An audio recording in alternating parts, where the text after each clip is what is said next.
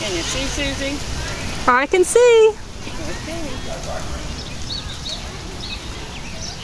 That's a nice twist. Yep, twice, and I just like to tuck mine. However, There you go.